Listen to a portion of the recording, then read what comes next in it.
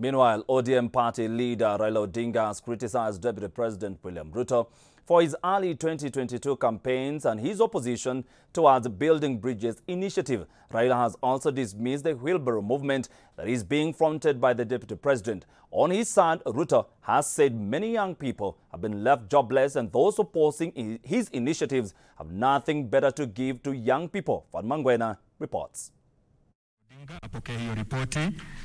Makofi. Speaking at the Kisii State Lodge earlier today, where he received the BBI report alongside President Uhuru Kenyatta, Raila Odinga seized the moment and addressed critics who have rubbished the BBI report as a waste of time.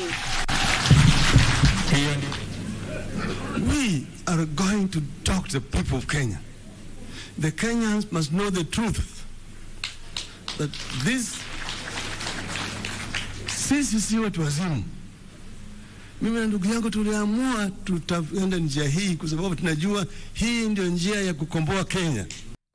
Raila rubbished the wheelbarrow and mkokoteni initiatives that are being championed by the Deputy President William Ruto, saying it is in bad faith because Ruto has been in government for the last eight years. If you're really concerned, why you give them wheelbarrows? Why don't you give them your helicopter? If you find a country, a nation, where a wheelbarrow becomes a national conversation, it tells you there is a problem and we must confront it and we must have a discussion about it and we must sort it out. We can no longer live in denial. There is an issue we must sort out.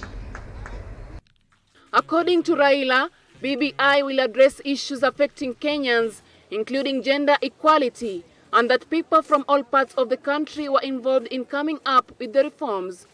issue of gender uh, inclusivity, for example, in parliament. And we say that we take parliament as an institution, National Assembly and the Senate.